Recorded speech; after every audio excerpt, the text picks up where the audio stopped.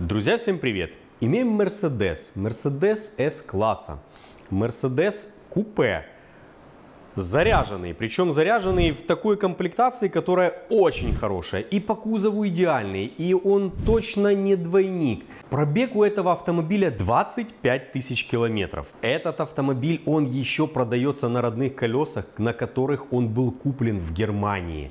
Он имеет настолько идеальный, хороший, не зацарапанный, не заюзанный салон. Он не имеет ни одного крашеного элемента по кузову. Машина со всех сторон идеальная. Как вы думаете, что с ней может быть не так? 10 августа, 2 часа дня практически без 10. Mercedes 217 кузов, 63 560, а вообще 4-литровый.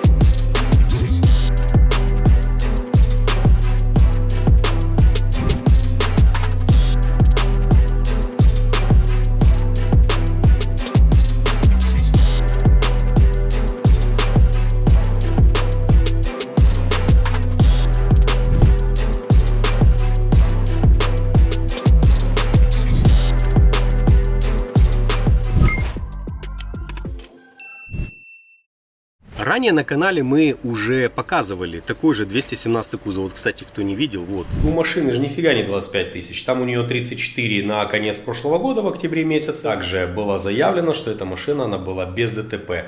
Вот с этой стороны обращаем внимание, что подкрылок не торчит, с ним все нормально. Кстати, с зазором бампера тоже тут не очень хорошо. А вот с этой стороны здесь такая конкретная дырка между подкрылком. Ну, надо было добавить, что еще и крыло не на месте стоит. А по заднему ровно наоборот. По этой стороне здесь ничего не торчит, здесь абсолютно все нормально. А вот по другому подкрылочку здесь слегка беда. Вот дырочка, к вашему вниманию, такая несуразная.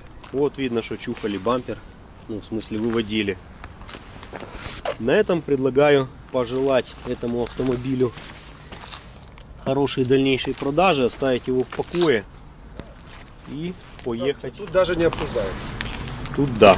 У нас в Украине, в отличие, допустим, от России, очень тяжело сделать какую-то такую мутную, тяжелую схему. Но там была такая запутанная история. Там в общем, из этого можно сделать вообще отдельное видео о том, как мастер-класс, как продать биток, причем разорванный на две части под видом целого, и даже Mercedes, якобы не участвующий в этой коррупционной схеме, говорит, заявляет, что эта машина целая, что это нормальная. Но это будет отдельное видео. И, кстати, напишите в комментариях, нужно ли его сделать. Потому что для этого нужно съездить еще в другую страну, для того, чтобы записать комментарий. А сейчас имеем вот этот вот идеальный автомобиль с первого взгляда. Но что же с ним не так? Так, визуально сразу пошли. Ну, по шигрени, по шигрени визуально вроде бы все очень-очень даже и неплохо. Здесь что у нас? Нет, показалось. А ну-ка, ну-ка, ну-ка. Ну-ка, ну-ка. Так, нижний заходит. Да, нормально. Визуально пока ничего не вижу. Но скажу честно, мы его сразу уже пробили по разным базам перед тем, как ехать. Это что? Это грязь, это не считается. Вот. И, в общем, чего-то подозрительного по нему, ну, я не видел. Так, а что у нас по колесам? Ё-моё, пыльные, такие напидоренные, красивые. Так, дата. Так, 21 неделя 19 года. А вот эти вот колеса 21-19. То есть это еще те колеса, на которых она покупалась. Есть большой шанс того, что этой машине под хвост сильно не давали. Я был уверен, что здесь, ну, как минимум, будут разные колеса, и они будут не такие свежие, как э, не такие свежие, как выпускались. Это кто у нас? Это какая-то моль сидит. Ползает букашка. Так, букашка, текай. Чтобы не ты нам не портила тему момента. Так, в зазорчиках везде все ровно, все одинаково, все зеркально. Смотрю с правой, с левой стороны, сравниваю. Прекрасный МГшный обвес. Фары в зазорах. Ну, пока чего-то такого, чтобы делало некое внешнее отвращение, я не нахожу. Так, вот здесь вот классно ровненько в зазорчик. А вот с этой стороны, а нифига такого, чтобы... Чтобы... Так, здесь зашел. Сейчас сравню с той стороной. Здесь зашел. Пока у нее все хорошо. Вин-код я уже сверил с тем, что был. Табличка, табличка оригинальная. Не вижу следов того, что она отнималась. Так, пока внешка. Пока наружка, мерседесовская книжка. Ах. Да, ее номера. Есть компрессор, есть клей. Так, что у нас здесь? Здесь я не вижу, чтобы какие-то болты крутились. Вряд ли салон тут разбирался. Здесь тоже никаких следов того, что оно разбиралось, я не вижу. Но это я так смотрю на всякий случай. Вот фонарик упирается в этот фонарик. И слегка уже потерлось. Заднее стекло с полным обогревом. Ну, имеется в виду с полным мелким обогревом. Так, почему же здесь не стоит плотно молдинг? Пока неизвестно. Ладно, наблюдаем дальше. Наблюдаем дальше. Кожа. Ну, так себе. Но это вряд ли ее перетягивали. Это что? Это что там мокрое? Интересно, не знаю, возьмет ли камера, но вот такие некие легкие пятна. Эх, Мерседес. Следов того, чтобы красилась эта кожа, не вижу. Да, нормально. Здесь тоже нормально. Ну и, естественно, где наша красная хрень? Заглянем под капот, а потом я уже пройдусь по всем элементам кузова. Сейчас пока смотрим по крепежным элементам, по таким.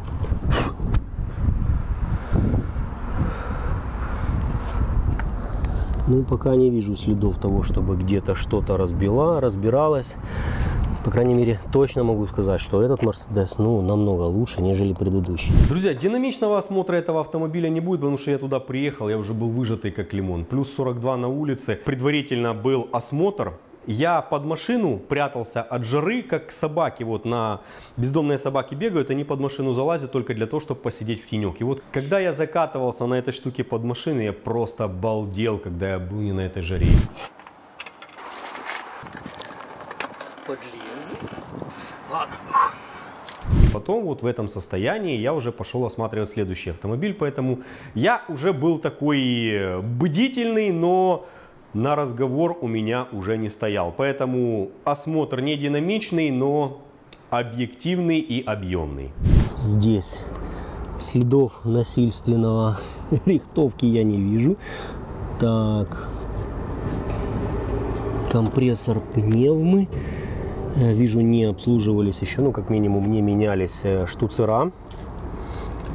Нормальные. Все вроде бы а вот это вот, а вот это вот такая покраска, что ли. Я не думаю, чтобы Мерседес так накосячила. Ну что у нас с другой стороны, ровно такая же хрень. Ну, я честно скажу, вот песок под краской я уже ранее встречал и на, на Land Rover, на Range Rover. Но я не вижу того, чтобы здесь отнимались детали То есть видно, вот сюда цеплялась, прикуривался Мерседес, сюда вот клемма прикуривается, вот здесь вот вторая, которая цепляется, да, она тоже он покоцанная, севший аккумулятор у нее очень большая доля вероятности. Ну а так, а так сказать, чтобы были следы того, чтобы он разбирался, я честно скажу, я не вижу. Везде, везде ничего не отнималось. Здесь тоже ровненько, ни один болтик, нигде ничего не снималось. Так, а вот это, а вот это, а вот это, нифига тут страшного нету. Ладно, что касается двигателя, это мы все дополнительно посмотрим отдельно. Ну, сейчас традиционно я все-таки его промеряю, потому что вот такие вот машины, если их делают, то делают их очень зачетно, очень хорошо и очень качественно.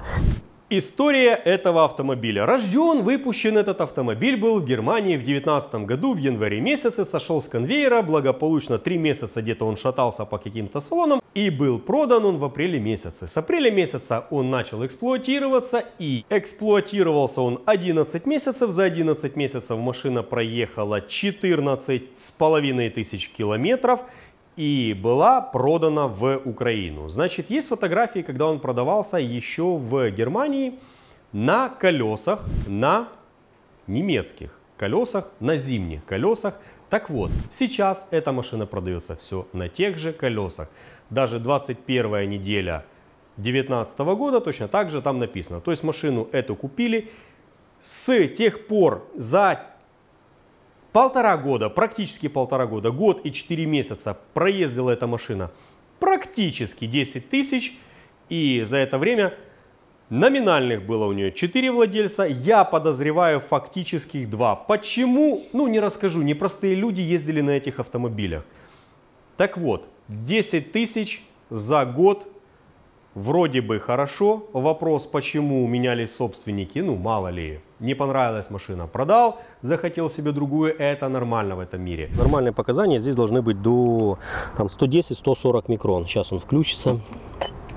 91, 116. Я так понимаю, он уже не один раз полированный, потому что слой вот здесь вот уже такой подснятый лака. Пока криминала никакого нет. Так, 88, 144. На полке крыла всегда немножко больше, 140. Но вот здесь вот, вот эта часть, она уже сполированная. Но у нас всегда есть контрольная тема. Это контрольная точка. Это у нас по крыше. 121. Это стекло. Так, 123, 121, 120, пока все нормально. Но я следов покраски предварительно не увидел. То есть, если ранее мы осматривали Mercedes вот здесь вот, то мы его даже не открывали. Вот просто подошли. От забора я сказал, что не надо эта машина. Подошел, показал почему. То здесь вот эту машину мы уже хотя бы осматриваем. Так, 145, 121. Пока сомнений никаких нету. Шигрень есть 111. Что у нас здесь?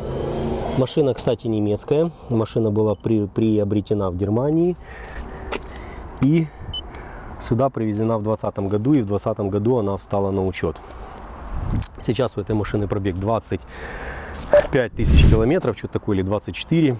Так, капот. До пробега мы еще доберемся. Лобовое оригинальное, и оно тоже 19 -го года стекло, а лобовое термальное, значит, боковые должны быть триплекс. Да, так и есть. Стекла двойные у нее. Здесь у нас что? Здесь Здесь у нас 18 год, но это допускается. Это, видать, она в 19 было в начале года собранная. Пока, пока неплохо. Значит, смотрел я под капотом, э, болты гайки здесь не откручены. Вот единственное, Минус это того, что э, много слишком песка на вот этой вот штуке. И вот здесь вот есть легкие сомнения. В 235 микрон это трохи дофига. Посмотрим контрольный вот по лонжерону. Вот здесь вот 49. Какого бени вот такие вот чашки. Э, и вот эти штуки, они открывались. А следов того, чтобы оно откручивалось, я не вижу прям песок как будто бы в пылесос, пылесосов в чистом поле. его замывали, затирали. Но я скажу так, если бы его делали в нашей стране, вот эта вся штука была бы настолько идеальной. А так, сейчас я попробую увеличить, показать болты, грани не слизанные. Где у нас еще контрольные места могут быть? Э, Так, ну вот этот болт могли типа и закрасить, но на всякий случай я покажу, что он совсем не сорван и следов кручения не имеет. Вот здесь вот точно так же. Следов, сейчас резкость наведу, того, что откручивалось, я здесь не вижу. То есть видно, когда обслуживали автомобиль, разбирали вот так вот э, пластик, это да. Но то, что он снимался, то нет. Точно так же и, и вот здесь, вот сейчас попробую показать гайки на более больших. Вот здесь вот я не вижу ни засечек, ни фига, чтобы его снимали или откручивали. Поэтому, поэтому такая вот печальная сборка Мерседеса. Плюс вот здесь вот болт абсолютно ровненький. Нигде не играем, ни, ни засечек, ни фига. Все неплохо, но непонятно, почему его продают. Ладно, смотрим дальше. Наша задача найти почему. 106, 106, 102, 110, 91, 123. И сейчас мы позвоним старшим товарищам и зададим вопрос, а бывает ли на 217 кузовом столько мусора на чашках? И нормально ли это? О, на ручнике поехал. Значит, есть несколько мелких ударов вот здесь. Попробую передать.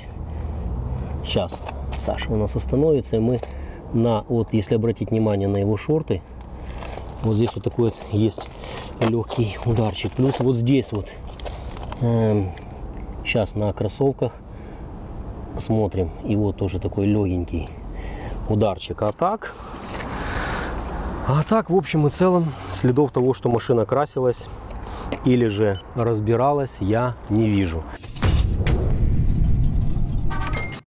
Это завод. Хорошо, хорошо. А есть растворитель и вата? Ну, в смысле, я покажу, что оно не смывается. Потому что люди, когда увидят такой кошмар за 100 с хером тысяч, Да, такая вот фигня была на том иксе вот черном. а есть растворитель с ватой, а то я свой выложил. Ну какой растворитель, оно не смывается. Так хочу показать, что он не смывается. Да ну скажите, что он не смывается. Окей, ладно. Не, если бы делали у нас в стране, они бы делали классно. Конечно. Так, чтобы, ну, где-то можно было бы увидеть, что где-то что-то откручивалось. Но... Даже покрасили болты, а вот такое оставили.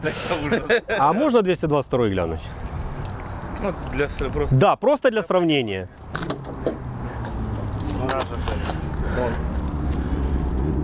Да, все, все то же самое. И, А этот стакан идеальный.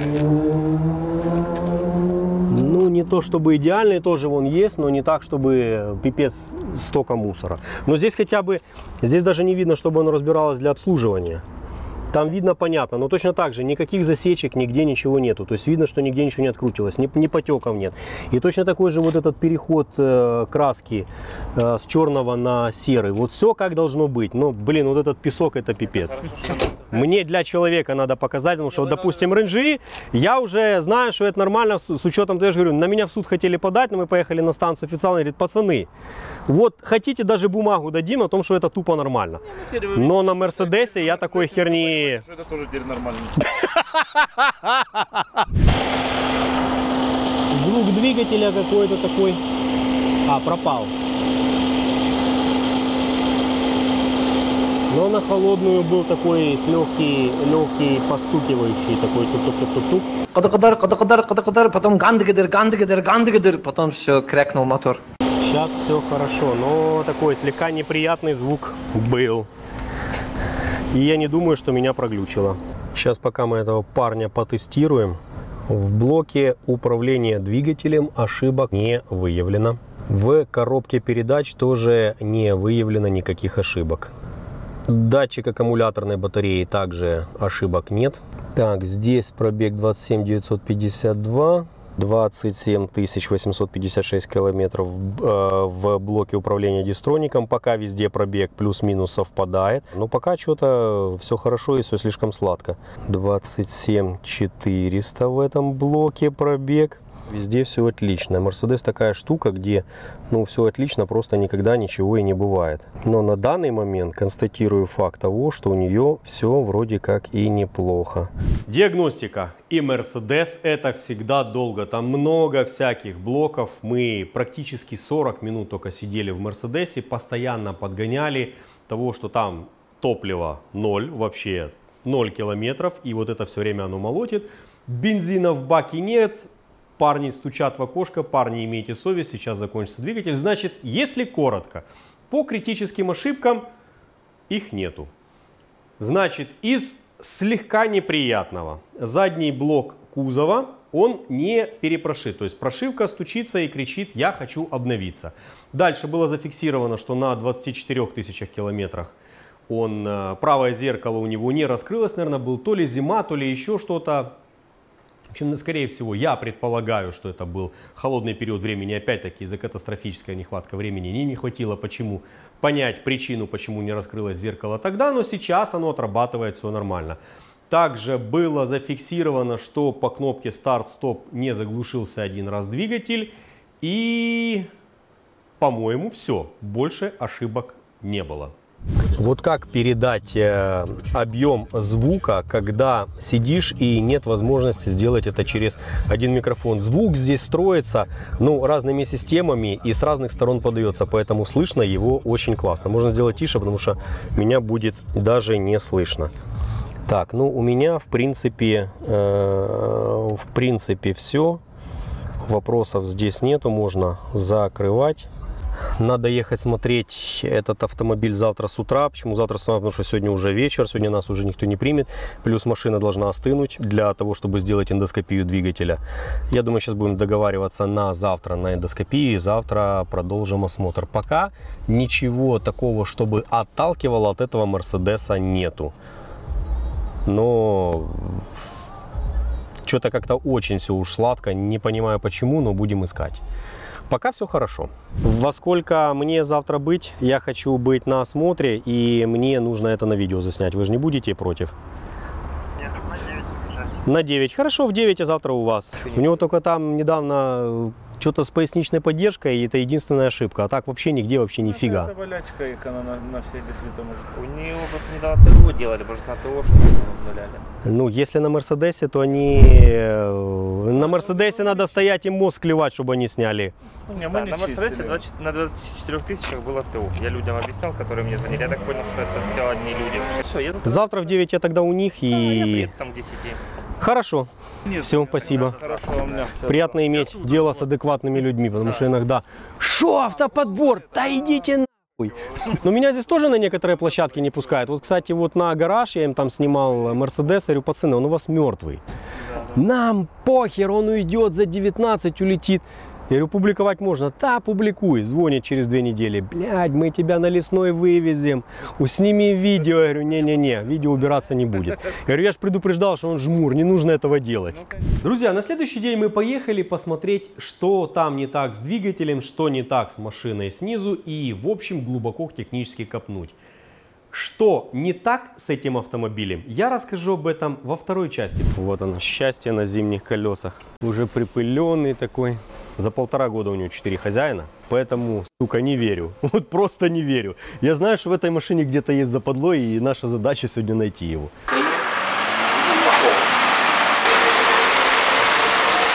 С такой проблемой не сталкивались даже на таком профилированном СТО, куда едет большая куча людей с такими автомобилями. Охренели даже мастера. Так вот, на данный момент этот автомобиль еще не куплен. Пока идут такие некие качели, так, а так на весах. Идут моменты, идут общения, будет этот приобретен с этим недостатком автомобиль или нет. А вот что это за недостаток, я расскажу во второй части. Поверьте, будет интересно. Спасибо большое, что досмотрели это видео и до конца. Ну а с вами был Николай Тарануха, Киев, компания Динавто. Всем удачи на дорогах, всем пока-пока.